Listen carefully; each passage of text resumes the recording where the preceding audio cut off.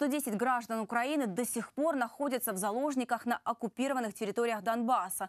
На этом акцентировала внимание первый вице-спикер Верховной Рады Ирина Геращенко на заседании парламентского комитета Ассоциации Украина-ЕС.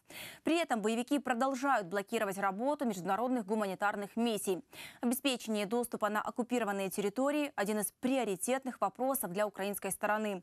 Чрезвычайно важна работа Международного комитета Красного Креста. Известно о пяти сотнях без вести пропавших людей в так называемых ДНР и ЛНР.